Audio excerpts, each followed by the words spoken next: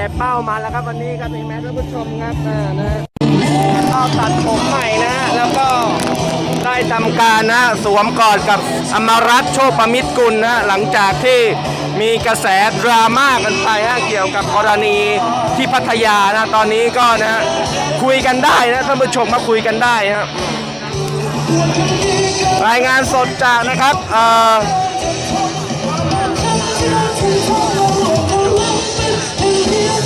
ท่านผู้ชมเห็นไหมฮะ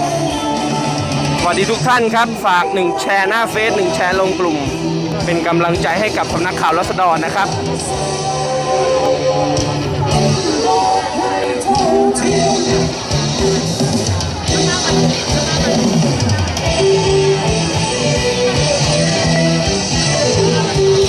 นี่ครับยายเป้าก็เดี๋ยวขออนุญาตจะบังกล้องพี่ๆน้องๆเขาไหมฮะเดี๋ยว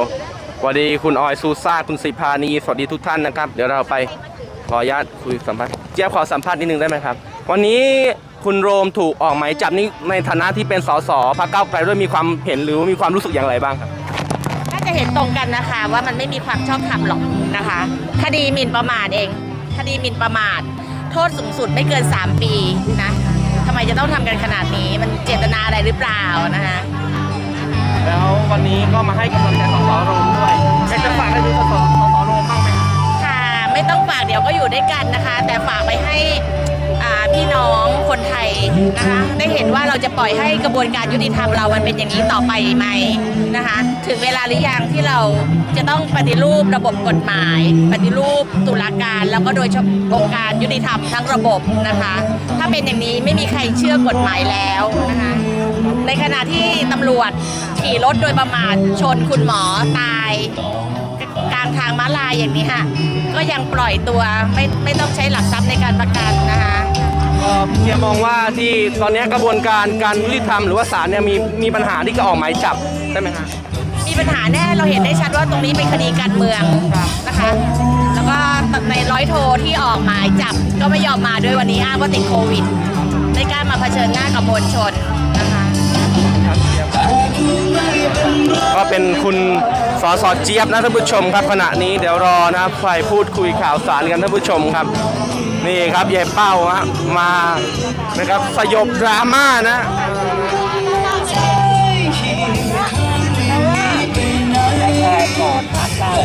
ยายก็รักพรรคก้าไกลอยู่ตลอดเพราะพรรคก้าไกลช่วยเหลือเด็กช่วยเหลือประชาชนแต่แต่ยาย ยายก็รักพรรคก้าวไกลนะคะ เพราะเขาทำถูกทุกอย่าง แต่ยายก็ผิดไปนิดเดียวที่ยายไปถึงป้ายายไม่รู้จริงๆ แต่ยายก็ขอโทษนะคะ เพราะว่ายายน่ะบอกแล้วบอกกับคุณเจี๊ยบก็บอกว่ายายรักพรรคก้าวไกลที่เขาช่วยช่วยเหลือประชาชนที่เดือดร้อนกับพวกเด็ก ทุกคนนั่นแหละที่ออกไปค่ะขอบคุณมากค่ะก็ท่านผู้ชมครับสอนอบางขุนนนท์ครับให้กำลังใจป้าเป้าแบบว่าป้าเป้า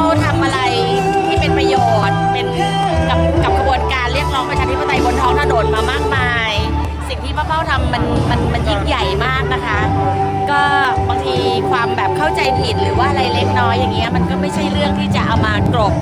สิ่งดีๆ ที่ป้าเป้าทำมามากมาย แล้วก็เข้าใจป้าเป้าถ้าเจอกันทีไรป้าเป้าก็จะบอกบอกว่าป้าเป้าก็รักทั้งสองฝั่งอะไรอย่างเงี้ยค่ะ ในส่วนตัวไม่มีปัญหาในส่วนตัวก็เข้าใจและอยากให้คนให้กำลังใจป้าเป้าด้วยครับ อยาตอนนี้ท่านผู้ชมครับรังสิ